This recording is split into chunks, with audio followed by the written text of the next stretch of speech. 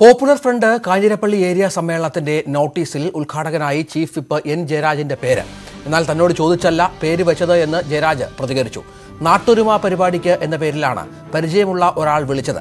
Popular front പരിപാടി എന്നറിഞ്ഞപ്പോൾ തന്നെ പങ്കെടുക്കില്ല എന്ന് അറിയിച്ചിരുന്നതായും ഇപ്പോൾ എന്താണ് ഇത് പ്രചരിപ്പിക്കാൻ കാരണമെന്ന് അറിയില്ല എന്നും എൻ ജയരാജ് പറഞ്ഞു.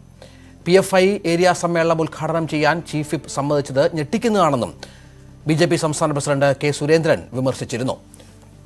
ജി ശ്രീ ചേർന്ന് ശ്രീത്ത് ഈ നോട്ടീസ് ഇത്തരത്തിൽ ബി ജെ പി സംസ്ഥാന പ്രസിഡന്റ് ഫേസ്ബുക്കിൽ പോസ്റ്റ് ചെയ്തതോടെയാണ് ഇത്ര ശ്രദ്ധേയമായും വിവാദവുമായി മാറുന്ന ഒരു പശ്ചാത്തലം ഉരുത്തിരിയുന്നത്. എന്താണ് ഇതിനോട് ചീഫ് വിപ്പിന്റെ പ്രതികരണം? പി എഫ് ഐ കേന്ദ്രങ്ങൾ ഇതിനോട് പ്രതികരിച്ചിട്ടുണ്ടോ? പി എഫ് ഐയുടെ പ്രതികരണം വന്നിട്ടില്ല രഞ്ജിത്ത്. പക്ഷെ ബി ജെ പി നേതാക്കളാണ് ഇത് അവരുടെ ഫേസ്ബുക്ക് പേജുകൾ വഴി ഇത് ആയുധമാക്കിയത്.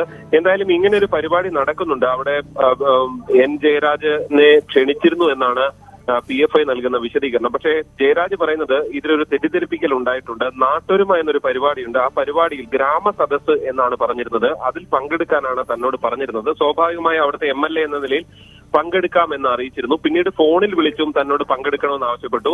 പക്ഷെ ഇതിന് ശേഷമാണ് ഇത് പോപ്പുലർ ഫ്രണ്ടിന്റെ പരിപാടിയാണ് എന്ന് പറഞ്ഞത്. അത് അതോടുകൂടിയാണ് താൻ പങ്കെടുക്കില്ല എന്ന് അറിയിച്ചത്.